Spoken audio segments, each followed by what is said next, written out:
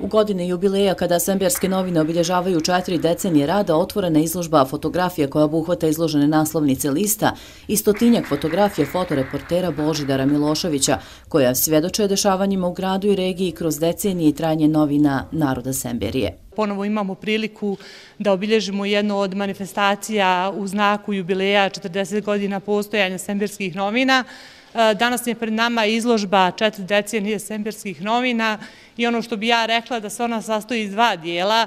Jedan dio je naslovnice i sve ono što su Semberske prikazivale 40 godina, a drugi dio je fotografije našeg dragog kolege, fotoreportera Božidara Miloševića.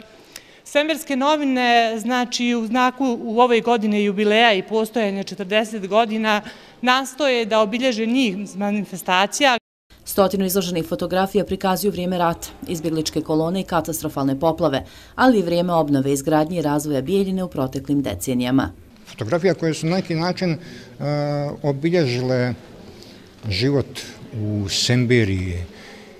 Ima tu i dvije katastrofalne poplave, ima tu izbjegličkih kolona, ima nešto malo sa ratišta, bio je i rat, ne možemo izbjeći da, da i to ne, ne prikažemo na malo pristojniji način, ne a, ono sve što se dešavalo na ratištu, ali smo zajedno sa kolegama radili i festivale i mm, otvaranja a, nekih a, objekata ovdje koji su promijenili život stanovnika u Semberije. Gradonačelnik Bijeljine poželio je zaposlenima da posle 1263 objavljena broja nastave da bilježe život i razvoj Semberije.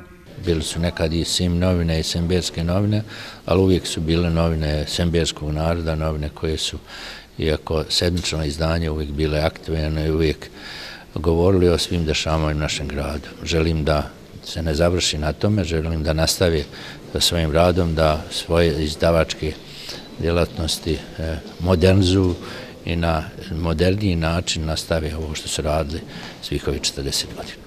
Semberske novine će nastojati u narednom periodu da se druže sa građanima i da ih informišu o dešavanjima u Bijeljini, poručuju zaposleni.